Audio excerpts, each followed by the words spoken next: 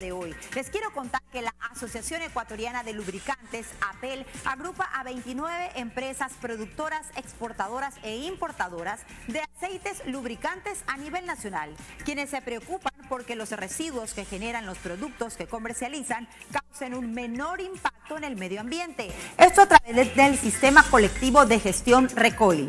Gracias al que han protegido más de 19.3 billones de litros de agua. Más información de esta gestión que cumple dos años de acciones en nuestro segmento ECO.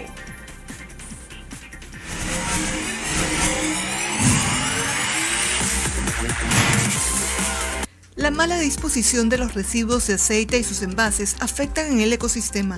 Es por esto que la Asociación Ecuatoriana de Lubricantes APEL crea un sistema colectivo de gestión denominado RECOIL, que permite que todos los actores de la cadena del sector cumplan el Acuerdo 042 del Ministerio del Ambiente, Agua y Transición Ecológica, cuyo objetivo es reducir el impacto que estos residuos peligrosos producen. Hemos recolectado cerca de 6 millones de lubricantes usados y cerca de 300 toneladas de envases, tanto plásticos como metálicos. Este es el resultado de un trabajo duro eh, de, esta iniciativa de economía circular, visitando puerta a puerta puntos de generación, abro lubricadoras, haciendas, industrias que poco a poco se han ido sumando. Tenemos ya 4.000 puntos de generación que se han adherido a esta iniciativa y que han apostado para que su actividad genere menos residuos peligrosos. ¿Pero qué pasa con estos desechos? En el caso del aceite lubricante usado, en Ecuador existen dos formas eh, reconocidas y autorizadas para aprovechar este residuo. Uno es la re-refinación, que es reincorporar en un proceso productivo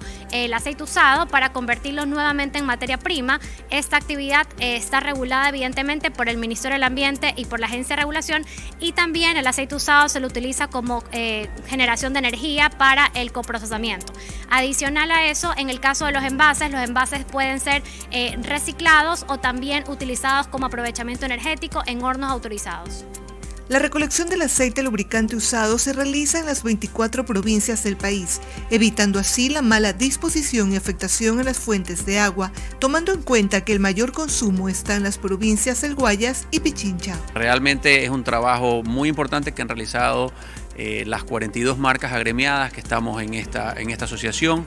Aquí no se ve, aquí no somos competencia, aquí estamos todos aliados en beneficio del país eh, y del medio ambiente y de nuestros negocios también. ¿no? Sabemos que estamos dejando un mejor presente y un mejor futuro para las generaciones que vienen. La meta para este 2023 son 5.3 millones de galones de aceites usados y 334 toneladas de envases plásticos y metálicos. Recoil tiene como meta principal ser el modelo colectivo líder en la articulación de la gestión de aceites lubricantes usados y sus envases generados en Ecuador continental e insular y de esta manera contribuir con la disminución de emisiones de carbono en el país.